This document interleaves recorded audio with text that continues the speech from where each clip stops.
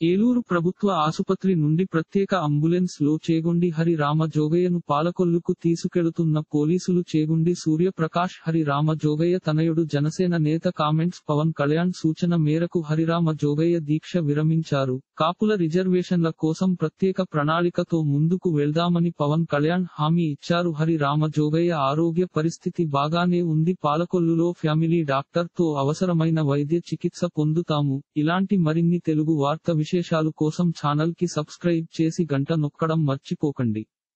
ఈ వీడియోని తోటి మిత్రులకి షేర్ చేయండి. మీ అభిప్రాయాన్ని కామెంట్లో తెలపండి.